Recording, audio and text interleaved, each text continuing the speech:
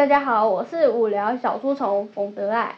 我今天要介绍一本书，叫做《六年级趣事多》。《六年级趣事多》这本书介绍着军伟的六年级生活趣事。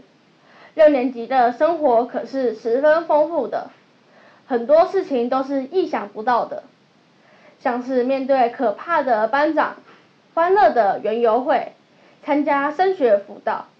毕业典礼及毕业旅行等种种事迹。这本书还描述着同学之间的互动，以及对班级方面十分有远见的暴龙老师。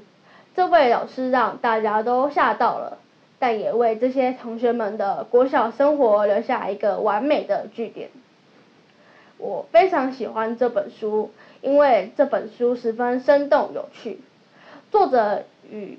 学生的立场来写这本书，我觉得书中的班级就像绵羊家族一样，就连做的事情也一件件的跟我们相似。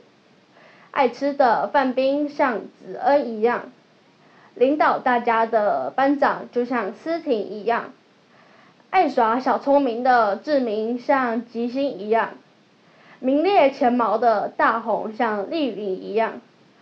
书中的班级仿佛就像第二个绵羊家族。如今我们就要毕业了，希望各位同学毕业后能够展翅高飞，以开朗的心情来面对国中生活。毕业典礼就快到了，不知道当天的气氛会是怎么样的呢？会很欢乐、很雀跃，还是会哭得一塌糊涂呢？